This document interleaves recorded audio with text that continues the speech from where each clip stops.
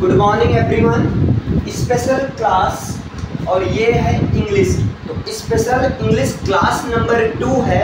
जैसा कि हमने आप लोग को बताया था कि ये स्पेशल इंग्लिश की क्लास को मैंने फोर सेक्शन में डिवाइड किया, है ना? एक है आपका सोल की बात करेंगे, यानी कि वर्ड मीनिंग की बात करेंगे, पाँच दस मिनट। एक है आपका कॉन्सेप्ट की बात करेंगे, जिसे आप बोलोगे। क्लियर है? और एक आपका ग्रामर सेक्शन और एक है एग्ज़ाम बेस्ड क्वेश्चंस अब जैसे देखिए, मैं क्या करता हूँ? अभी मैं दो सेक्शन को लेता हूँ। यानी कि एक वर्ड मीनिंग को और एक जो है प्लस कॉन्सेप्ट इन दोनों को मैं, इन दोनों को मैं क्या करता हूँ? मिक्स कर देता हूँ। क्लियर है? कैसे? और यहाँ पर आपको क्या करना है? एक स्ट्रक्चर याद करना है। और कैसे प्रैक्टिस करना है, ये मैं बता रहा हूँ। दिस इज़ वाट इसको आपको एक फ्लो में बोलना है। This is word this is word क्या बोलना है? दिस इज़ वर्ड अब इसके बाद आपको यहाँ पर आई है ना? वांटेड टू ये लिखना है। आपको क्या लिखना है? आई वांटेड टू फिर यहाँ पर आपको एक्शन वर्ड का फ़र्स्ट है ना? यानी कि एक्शन वर्ड का first form first form of verb लिखना। इतना समझ पाए। अब देखिए, इसका जो सेंस निकल निकलेगा, वो ये निकलेगा, यही तो मैं। क्या सेंस निकलेगा? यही तो मैं। ठीक है? अब यहाँ पर जो है, कोई भी, जो भी काम रहेगा, बताना चाहता था, सुनाना चाहता था, पढ़ाना चाहता था, दिखाना चाहता था, समझ पा रहे हो ना? जो भी काम रहेगा, वो नानी ने के साथ रहेगा और आगे आपका रहेगा चाहता था। क्लियर है? चाहता था। अब यहाँ पर आपको समझना है। मैंने ये आपका कॉन्सेप्ट है, लेकिन यहाँ पर आपको पुटअप करना है फ़र्स्ट फॉर्म ऑफ़ वर्ब यानी कि वर्ड मीनिंग में अभी वर्ब रिलेटेड मीनिंग की बात होगी। क्लियर है? अब क्या करना है? जैसे मैं कहूँ, यही तो मैं आपको बताना चाहता। है ना? अगर मैं कहूँ, यही तो मैं आपको बताना चाहता था। आपको बताना चाहता था। तो देखो, एकदम आसान है ना? यही तो मैं आपको बताना चाहता था। तो आपको यही तो के लिए this is word this is word ये थोड़ा स्टैंडर्ड स्ट्रक्चर है है ना? दिस इज़ वर्ड एक फ्लो में इसको बोला this is word I wanted to tell you I wanted to tell you I wanted to tell you ये आपका होगा एग्ज़ाम्पल समझ पाए? अगर मैं कहूँ, यही तो वह मुझे बताना चाहता था। है ना? यहाँ पर देखो, दो केस होता है। एक होता है आपका सब्जेक्टिव केस एक होता है आपका सब्जेक्टिव केस और एक होता है आपका ऑब्जेक्टिव केस एक होता है आपका सब्जेक्टिव केस एक होता है ऑब्जेक्टिव केस जैसे देखिए सब्जेक्टिव केस में ही होता है, लेकिन यही सब्जेक्टिव केस को अगर ऑब्जेक्टिव केस में बात किया जाए तो क्या होता है? हिम होता है. हाँ याद रखना, इन दोनों का कभी कभी आप कंफ्यूज रहते हो ना, जैसे उसे. उसे के लिए ही भी लिखा जा सकता है उसी के लिए हिम भी लिखा जा सकता है। लेकिन अंतर आपको याद रखना है अगर उसे को सबसे पहले सेंटेंस के शुरुआत में यूज़ किया गया है जैसे यही तो मैं यही तो उसे यही तो उसको। समझ में आया? अगर सब्जेक्ट की तरह यूज़ किया गया है तब वहाँ उसे की इंग्लिश ही लिखना है। लेकिन अगर ऑब्जेक्ट की तरह यूज़ किया गया है तब वहाँ पर उसे की इंग्लिश क्या लिखनी है? हिम लिखनी। है ये समझ पाए? इसमें कोई प्रॉब्लम तो नहीं है? कोई दिक्कत? तो आपको सीधा ये चीज़ लिखना है, समझे? इसे पहले नोट डाउन करिए। अच्छा इसी तरह, जैसे देखो, इसी तरह अगर सी की बात करें तो सी मीन्स होगा उसे, लेकिन दोनों में अंतर है। अच्छा सी मीन्स वह भी होगा, है ना? इसका मतलब उसे भी होगा, इसका मतलब उसके भी होता है है ना? इसका मतलब उसके भी होता है, दोनों का मतलब उसके भी होता है। उसको जाना चाहिए। इसका मतलब उसको भी होता है। लेकिन अंतर क्या है भैया? अंतर केवल एक बात का है कि उनको सब्जेक्ट सब्जेक्टिव केस में यूज़ किया गया है या जो है ऑब्जेक्टिव केस में यूज़ किया गया। अगर सब्जेक्ट की तरह यूज़ किया जा रहा है तभी या तो सी लड़की है तो सी लड़का है तो ही ऑब्जेक्ट की तरह यूज़ किया जा रहा है, लड़की है तो हिम और सॉरी लड़की लड़का है तो हिम लड़की है तो ये समझ पाए? समझ में आ रहा है ना? अब यहाँ पर देखिए, इसी तरह आगे की बात किया जाए तो आई। और आई का ऑब्जेक्टिव केस होता है मी। बहुत कंफ्यूजन रहता है ना? मुझे की इंग्लिश आपके दिमाग में जो भीड़ रहती, मी रहती, लेकिन मुझे की इंग्लिश आई भी होती है। जैसे मैं कहूँ, मुझे जाना चाहिए। आप मी शुड गो तो बोलोगे नहीं। आप क्या बोलोगे? भैया आई शुड गो बोलोगे। तो अब ये क्या बात है? ये यही बात। सब्जेक्ट के रूप में यूज़ किया जा रहा है कि ऑब्जेक्ट के रूप में? यानी कि आई का मतलब मैं होता है। आई मीन्स होता है मैंने भी होता है। आई मीन्स मेरे भी होगा। क्लियर है? आई मीन्स मुझसे भी होगा। जैसे मुझसे क्लियर है? और आई मीन्स और क्या हो सकता है? मैंने, ये हो गया, ये सारा होता है। यानी कि मैं, मैंने, मेरे, मुझे, मुझसे, इन सब की मीनिंग आई भी हो सकती है मी भी हो सकती है डिपेंड करता है उसको किसकी तरह यूज़ किया गया। इसी तरह आगे आ जाइए बी बी मीन्स क्या होता है? हम होता है। बी मीन्स हमने भी होता है। है ना? बी मीन्स हमें भी होता है। बी मीन्स हमको भी होता है है ना? बी मीन्स हमारे भी होता है। जैसे हमारे पास एक पेन है बी है का पेन और इसका मतलब अस भी होता है है ना? बस अंतर है सब्जेक्टिव और ऑब्जेक्टिव केस की। चलो आई भी हो गया यू आ जाते हैं। अब यू मीन्स क्या होता है? तुम भी होता है। नॉर्मल सेंस में बोला जा रहा है। यू मीन्स तुमने होता है। यू मीन्स क्या होता है? आ, तुम्हें होता है। है ना? यू मीन्स और क्या होता है? तुम्हारे होता है। और यू मीन्स और क्या होता है? तुमसे होता है।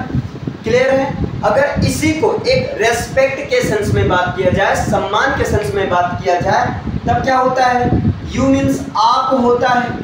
यू मीन्स आपने होता है। यू मीन्स क्या होता है? आपको होता है। यू मीन्स क्या होता है? आपके होता है। है ना?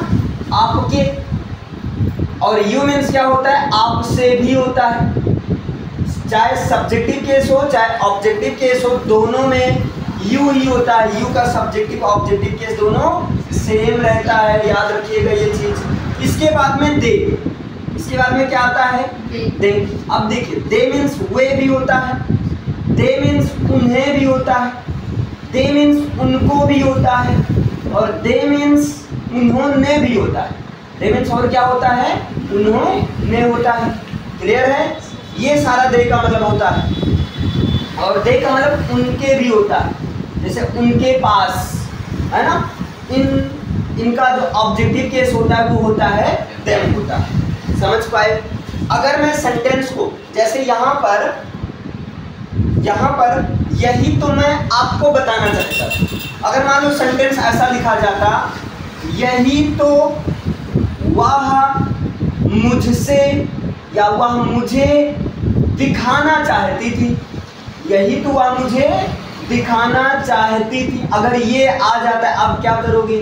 अब आपका दिमाग काम करेगा। अब आपका दिमाग काम करेगा। कैसे करेगा, देखो बेटे मैंने क्या बताया? यही तो के आपको क्या लिखना है? दिस इज़ वाट आपने क्या कर दिया? दिस इज़ वाट लिख दिया। दिस इज़ वाट और इसको अच्छे से बोलना भी। This is what you know this is what I wanted to see you अच्छा लगता है। जब प्रैक्टिस होगा you know this is what I wanted to feel यही तो मैं आपको खिलाना चाहता था, मार खिला दिया ना। मेरा लक्ष्य पूरा हो गया। मतलब ऐसे, जैसे होता है, लोग कहते हैं, यही तो मैं। पता है, इन्हीं को तो मैं दिखाना चाहता था। इन्हीं में पटक पटक की मारे। ऐसा होता है, बच्चे कहते हैं अलग अलग केस में होता है। तो आपको यही तो के लिए क्या आपने यूज़ कर दिया? दिस इज़ वाई यहाँ पर मैं था तो आपने लिखा आई यहाँ पर क्या है? मुझे नहीं सॉरी वह तो हुआ है तो आप क्या लिखोगे? लड़की है ना तो आप क्या लिखोगे? सी और भाई चाहती थी के लिए वांटेड ये फिक्स है आपका। है ना? आपका ये चेंज होगा। आई की जगह मैं रहेगा तो आई लिखना बाकी ये चेंज होगा। ये समझ पाए ना? इसलिए इसलिए मैंने आई को स्टार कर दिया। वांटेड टू फिक्स है। ठीक है, क्योंकि चाहते थे। तो see wanted to see wanted to अब दिखाना। दिखाना की इंग्लिश क्या होगी? सो ऑफ़ देखिए, आप लोगों ने क्या किया? यही तो यही तो के लिए आपने कर दिया। दिस इज़ वह, अगर वह रहेगा फीमेल है, तब आपको सी लिखना है। क्लियर है? अगर इसी को मैं थोड़ा सा चेंज कर, यही तो मैं तुम्हें बताना चाहता था।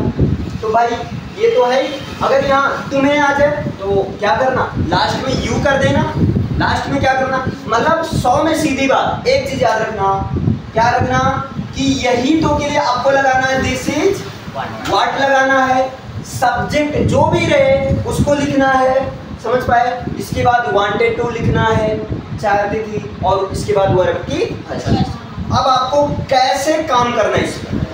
है ना? कैसे काम करना है? क्योंकि मैंने बताया वर्ड मीनिंग कॉन्सेप्ट को साथ लेकर चलना है। तो आप क्या करो? सबके पास किताब होगा। है ना? ऐसे किताब होगी जिसमें वर्ब फॉर्म्स ऑफ़ वर्ब दिया गया होगा। First form second form third form ये चीज़ दिया गया होगा। मान रहे हो ना? तो वहाँ पर आप पाँच का सेट देखो ऐसे मैं बता रहा हूँ, एक रफली जैसे मान लो आपके पास किताब, वहाँ पर आपने देखा गो गो मीन्स जाना फिर उसका तीनों फॉर्म दिया गया है। वेंट है और इसके बाद में कौन है। क्लियर है? आई एन जी तो लगा ही लोगे एस एस लगा। ही क्लियर है? इसके बाद में फिर जैसे, ये तो पहला हो गया। दूसरा आपने देखा कम। कम मीन्स होता है आना। दूसरा आपने देखा कम। कम मीन्स होता है आना। ये कम फ़र्स्ट फॉर्म है सेकंड फॉर्म केम और थर्ड फॉर्म कम। क्लियर है? तीसरा आपने देखा क्या देखा कि मान लो कुक है ना? आ, अभी ऐसे रैंडमली ले लेते हैं। कुक मीन्स होता है पकाना। कुक मीन्स क्या होता है? पकाना। सेकंड फॉर्म होगा। कुकड थर्ड फॉर्म होगा। कुकड इतना क्लियर है? इसके बाद में फिर आप देखो आ, कि प्ले प्ले मीन्स क्या होता है? खेलना। प्ले मीन्स होता है खेलना प्ले फ़र्स्ट फॉर्म है सेकंड फॉर्म हो जाएगा प्लेड और थर्ड फॉर्म क्या हो जाएगा भैया? तो आप कहोगे प्लेड हो जाएगा। क्लियर है? इसके बाद में अगर बात करें तो नेक्स्ट यहाँ पर कोई ले लिया जाए, जैसे ईट ईट मीन्स होता है खाना। ईट मीन्स क्या होता है? खाना। ये फ़र्स्ट फॉर्म ईट है। सेकंड फॉर्म क्या हो जाएगा आपका? एट सेकंड फॉर्म एट हो जाएगा थर्ड फॉर्म हो जाएगा ईटन अभी मैंने रैंडमली ले लिया। तो आपको करना कुछ नहीं है। पाँच सेंटेंस सॉरी पाँच वर्ड मीनिंग खासकर वर्ब वर्ब रिलेटेड वाला। पढ़ना है। किताब रहेगी, आपको पढ़ना है और पढ़ते समय सपोज़ करो आपको ये ईट वाला नहीं पता था तो जो आपको ना मालूम हो उस पर स्टार कर। तीनों फॉर्म के साथ, याद रहे? जैसे पाँच में से हो सकता है आपको सारा मालूम था, लेकिन एक नहीं पता था। है ना? पाँच में से हो सकता है आपको पाँचों ना मालूम हो। डिपेंड करता है आपके प्रीवियस नॉलेज के ऊपर। हो सकता है पाँच में से पाँचों मालूम तो जो आपको ना मालूम हो, आप उस पर स्टार लगाओ। जैसे आपने पढ़ा गो गो मीन्स जाना। गो बेंड गॉन भाई, बचपन से पढ़ते आए, आत्मा में समा गई। समझ रहे हो ना? आत्मा में आत्मा परमात्मा का मिलन हो गया है यहाँ पर गो वाले से। तो आप उसे मत लिखो मत याद करो। आपने देखा ईट मान लो ईट मीन्स खाने। यार ये तो नया है। मान लो आपको ये तीनों फॉर्म नहीं याद था। तो जो आपके लिए नया हो उसको आप जो कॉपी बनाओगे ना वहाँ पर लिखो और उस पर सेंटेंस बनाओ उस पर सेंटेंस बनाओ कैसे? यही तो मैं आपको यही तो वहाँ यही तो मैं आपको पक, यही तो मैं पकाना चाहता ऐसे ले लो। सही सेंस यही तो मैं पकाना चाहता था। तो क्या हो जाएगा? This is what I wanted to cook यही तो मैं तुमको खिलाना चाहता था। तो this is what I wanted to और खिलाने को फ़ीड बोलते हैं या सर्व बोलते हैं? फ़ीड बोलते हैं। फ़ीड मीन्स होता है खिलाना। तो फ़ीड यू समझे? तो आपको इस तरीके से काम करना समझ में आया? अच्छे से। मतलब अब देखो, आपने कॉन्सेप्ट समझा, इसके थ्रू आपको क्या करना है? ज़्यादा कुछ नहीं करना भाई, सुनो। पाँच पाँच का सेट बनाना। पाँच, जल्दी भी नहीं भागना। है ना? जितना पढ़ो सॉलिड पढ़ो इंग्लिश ऐसी चीज़ है एक बार पढ़ लोगे ना, ज़िंदगी भर के लिए भाई, मस्त रहो। याद रखो। है ना? आप जैसे पाँच पाँच का सेट बनाओ, ऐसे पाँच का सेट, और दस सेट आप एक दिन में काम तो कर ही सकते हो ना? दस सेट का मतलब समझे? पाँच पाँच का सेट बनाओ, दस सेट बनाओ, और दस सेट का मतलब हो जाएगा आपका पचास। पचास में से हो सकता है आपको पहले से बीस पता हो, पहले से तीस पता हो हो सकता है चालीस पता हो, है ना? तो आपको दस याद करना, अगर आपको दस नहीं याद था तो दस अच्छे से याद करो, उसको नोट्स में लिखो। पचासों को नहीं नोट्स में लिखना। समझे? नोट्स में किसको लिखना जो आपको याद नहीं था, तीनों फॉर्म के साथ उसको लिखना। क्लियर है? ये भाई देखो, सबके लिए हो सकता है आपके लिए पचास में से पचासों ना याद ऐसा भी हो सकता है। हो सकता है आपको पचास में से पचासों याद पचासों याद तो आप वहाँ देखो, जिस पर डाउट हो, अगर पचास, अगर आप, चाहे तो नहीं नहीं, मुझे थोड़ा और जल्दी जल्दी ग्रो करना है। एडवांस तो आप भाई दस के बजाय बीस सेट पर काम करो। है ना? आपके ऊपर है। सेंटेंस की बात है, ये पहले अच्छे से याद करो और सेंटेंस आप क्या करो? दस, बीस सेंटेंस आप लिखकर प्रैक्टिस करो। क्लियर है? वही फिर जो आप सेंटेंस हिंदी इंग्लिश लिखकर प्रैक्टिस करो, घर में कोई होगा, वही उनको दे दो। कि आप हिंदी बोलो, मैं इंग्लिश बता रहा हूँ। तो जब आप बताओगी तो आपके अंदर का कॉन्फिडेंस क्रिएट होगा। है ना? और जब एक बार कॉन्फिडेंस क्रिएट हो जाएगा तो सारी चीज़ें आसान लगने लगेगी। और जहाँ चीज़ें आसान लगी, वहाँ पर इंग्लिश से आपको डर बिल्कुल समझ पाए भाई इसको नोट डाउन करिए।